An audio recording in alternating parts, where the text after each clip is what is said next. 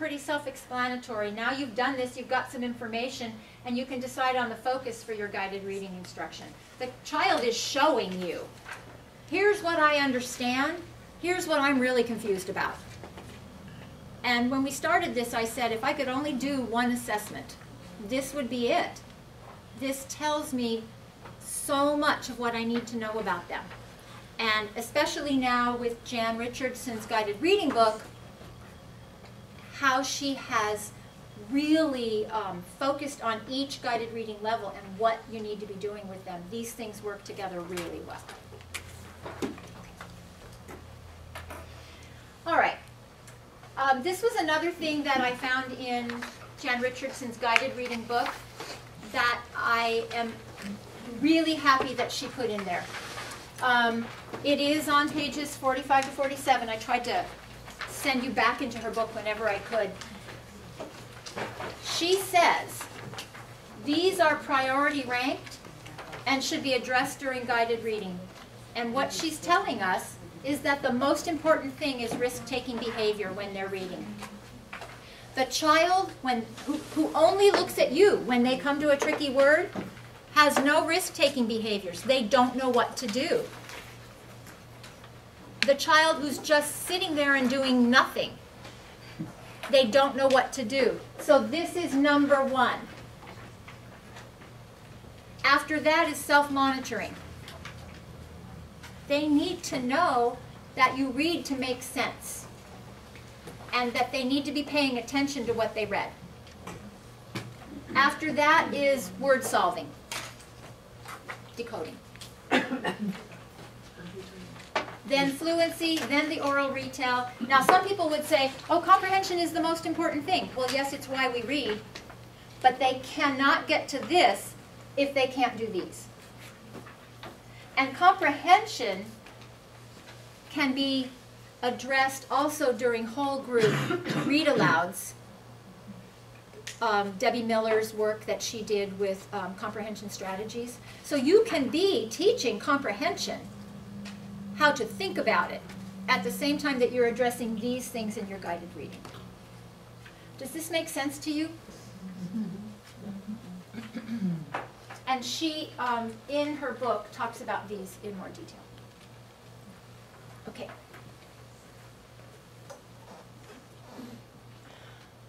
So, if you're dealing with emergent readers, levels A, B, and C, these are your goals. One-to-one -one matching, using meaning, using known words, using that first letter, cross-checking the picture and the first letter, blending CVC words, and reading with phrasing and expression. Is everyone aware of the purpose of level A and B books? That level A and B books, level A has one line of text on each page, highly patterned and predictable. Level B is still highly patterned and predictable, but now there are two lines of text. Levels A and B were developed to teach the four early behaviors. One-to-one -one correspondence, directionality, left to right and return sweep, locating known words, and that's useful for monitoring. If I know the word the, then when I point to it, I need to say the, and they don't always do that. And then locating unknown words. And some of you have heard me tell this story before. When I was first learning about the four early behaviors, and they got to the part where they said locating unknown words, and I thought, what are you talking about? Uh, my kindergartners can locate all kinds of unknown words. I don't know that one, and I don't know that one, and I don't know that one. And that's not what it means. What it means is you've got the little book there and there's that puppy and I can say to them, can you find the word puppy on this page? And they frame it for me. How do you know? Starts with P. So they've located it using letters and sounds. So again, one-to-one -one matching, directionality, locating known words and locating unknown words. And then you can see those are in there. and learning to do these things when you move to level C, now there's a little story involved to help drive meaning. Let's face it, levels A and B don't have a lot to comprehend. but that's because that's not what it's for. Level C, now there's a story, and comprehension can help to drive that reading. And you can start teaching them to use meaning when they're cross-checking. And by the way, at level C is when the finger pointing starts to come away on familiar text. You don't want to keep them pointing on familiar text because it slows their reading down. Just an aside. So those are the goals for emergent readers. Next, we have the goals, I think, for early readers. So you want to be choosing texts that give them opportunities to monitor and to decode.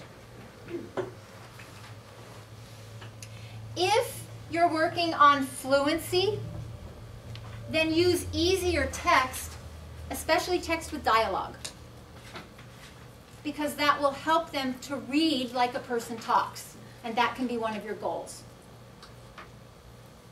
If you are working on retelling, use a story, a fiction piece, with a very clear problem and solution. Okay, so now the transitional readers, same kinds of things. Most of the kids we work with are going to be at that early stage. We'll have some moving into transitional. But you can see how the text you're choosing is going to be based on what it is you're trying to help them to do. And this will guide you, and Jan's book really lays that out. And with the new books that you have, you will have um, a lot of choices that will allow you to do that. Okay. Thank you. We don't have fluent readers, but if you did, it would be this page. We can go on.